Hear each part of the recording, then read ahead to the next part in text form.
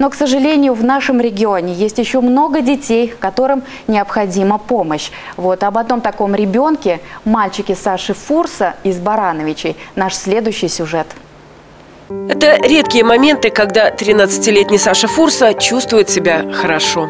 Первый раз у нас появились судороги в 4 месяца и 3 недельки. Ему спарализовало правую сторонку на 6 часов. Нас забрали в Гродненскую детскую больницу, так как мы находились в деревне у бабушки. Выставить точный диагноз нам так и не смогли, хотя взяли пункцию спинного мозга сразу же. Думали, что кровоизлияние. Кровоизлияние у нас не подтвердилось.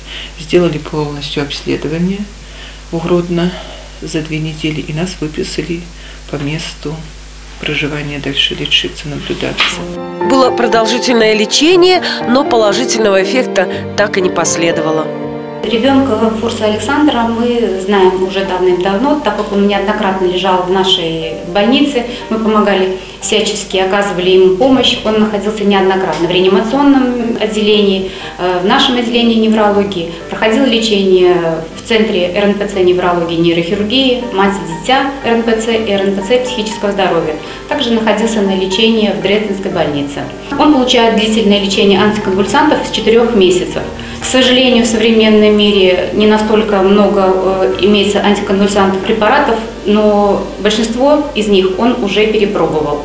Заболевание мальчика э, очень тяжелое, и к современном мире, к сожалению, поддается очень тяжело э, лечению.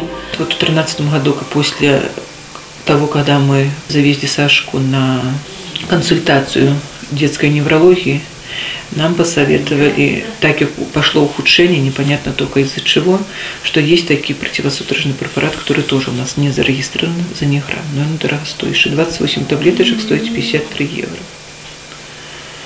Мы перешли на этот препарат, потому что выхода не было. Ребенок просто угасал на глазах. И подключили еще кепру обратно. Вот эти противосудорожные, которые мы на данный момент принимаем, кепра, топомакс и занигран – и выходит в месяц нам 550 евро.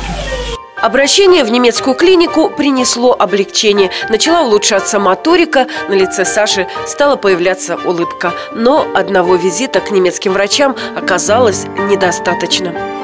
Ну и что, что нам предложили в Германии? Если есть за пять недель они не смогут нам подобрать вот противосудорожно стоит вопрос на операции, на пересадку стволовых клеток только 21 тысяча на подбор наших медикаментов.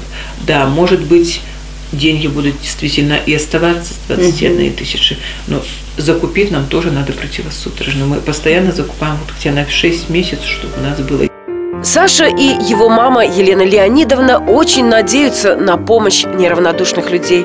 Они верят, что впереди их ждет полноценная жизнь.